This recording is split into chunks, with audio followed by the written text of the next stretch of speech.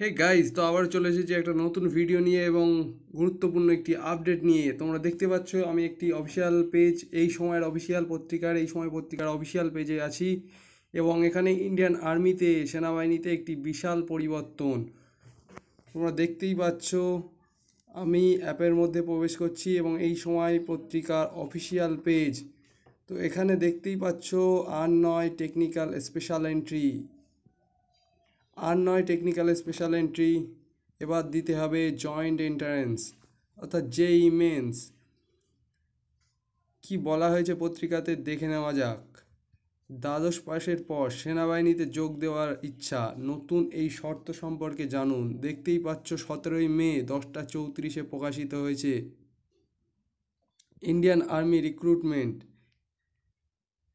ভারতীয় সেনাবাহিনীতে চাকরি করে দেশ সেবা করার স্বপ্ন বহু তরুণের। প্রতি বছর সেনাবাহিনীতে বিভিন্ন পদের জন্য কর্মী নিয়োগ করা হয়ে থাকে। এর মধ্যে একদিকে যেমন কমিশন অফিসার র্যাঙ্কের জন্য রয়েছে বিভিন্ন ধরনের পরীক্ষা, তেমনি অন্যদিকে জওয়ান হিসাবে সেনাবাহিনীতে যোগদানের জন্য রয়েছে বিভিন্ন ধরনের পরীক্ষা। তবে প্রতিটি পদের জন্য আবেদনকারীকে বেশ কিছু যোগ্যতা অর্জন করতে হয়। বিভিন্ন বিভাগে যোগদানের জন্য বিভিন্ন ধরনের মাপকাঠি রয়েছে। সঙ্গে, সময়ের সঙ্গে এই যোগ্যতার মাপকাঠিও পরিবর্তন হতে থাকে। সম্প্রতি এমনই একটি বিভাগে যোগদানের জন্য যোগ্যতার মাপকাঠি ঘোষণা করেছে সেনাবাহিনী।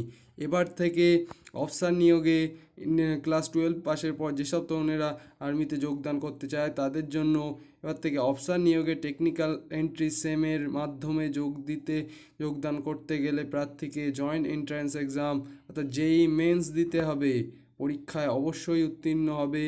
দ্বাদশ শ্রেণির পর যে সমস্ত প্রার্থীরা টেস্ট ফর্টি সিক্স পদ্ধতিতে সেনাবাহিনীতে যোগদান করেন, এতদিন পর্যন্ত তারা শুধুমাত্র উচ্চ মাধ্যমিকে সায়েন্সের নম্বরে সেভেন্টি পার্সেন্ট নম্বরের ভিত্তিতে যোগদান করতে পারত কিন্তু তাদেরকে এবার থেকে দিতে হবে জেই মেন্স, অর্থাৎ joint entrance exam. Test forty six এই ট্রেনিং কোর্সে আগামী জুলাইয়ে আবার বিজ্ঞপ্তি প্রকাশ করা হবে। ইচ্ছুক প্রার্থীরা join Indian army dot NIC dot in online পদ্ধতিতে আবেদন করতে পারবেন এবং এরপর মেডিকেল এবং ইন্টারভিউ এর মাধ্যমে মেরিট লিস্টের মাধ্যমেই তাকে বাছাই করা হবে, প্রার্থী বাছাই করা হবে মেরিট লিস্টের মাধ্যমেই এবং তাদের জন্য থাকছে পরে যেই অ্যাডভান্স এবং আইআইটি পড়ার সুযোগ এবং বড় উচ্চপদস্থ অফিসার হওয়ার। তোমরা দেখতে পাচ্ছ একটা বিশাল বড় পরিবর্তন আর নয় আর নয় ডাইরেক্ট এন্ট্রি এবার থেকে দিতে হবে JEE mains joint entrance exam তো সো গাইজ ভিডিওটি এই পর্যন্ত।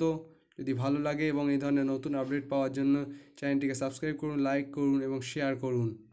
ধন্যবাদ।